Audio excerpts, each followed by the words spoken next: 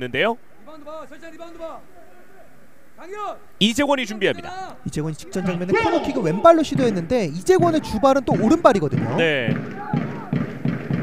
자 오른발로 띄워줬어요. 바운드가 됐고 혼전 상황 뒤쪽 슈팅 한 차례 아, 굴절 세컨 오른발 손석영! 납니다. 스코어 1대0 김포 FC에 앞서갑니다. 자 지금은 정말 사실은 김포 입장에서 세컨볼 싸움 찾아내기도 좀 어려운 이런 충돌이 있었거든요. 네.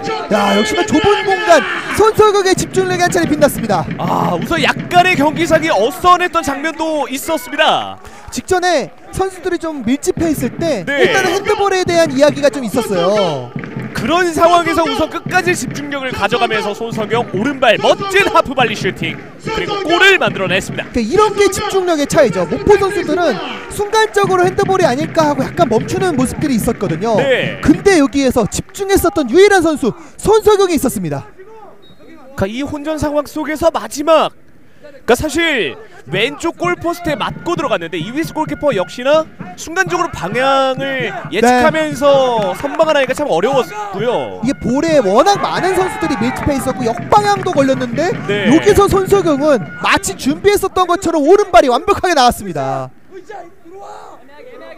카메라 앞쪽까지 달려면서 네. 자 손석영 선수가 멋진 셀레브레이션을 한 차례 보여주었습니다. 야 손석영이 정말 이번 시 막판에 득점에 대한 느낌이 좀 아쉬운 부분들이 있었는데 네. 정말 중요한 순간 뜻하지 않았던 흐름 뭔가 목포 에, 김포에게는 득점이 필요했던 순간에 손석영이 등장했어요. 자 그러면서 왼쪽에서 프리킥을 준비하는 김포 FC 또 한번 키커는 이재권입니다.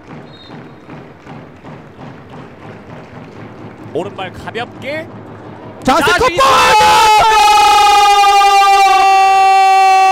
손석영 오늘 경기 멀티골 김포 FC 두점 차로 리드합니다. 자 이런 게 바로 김포의 위- 무서움이었습니다.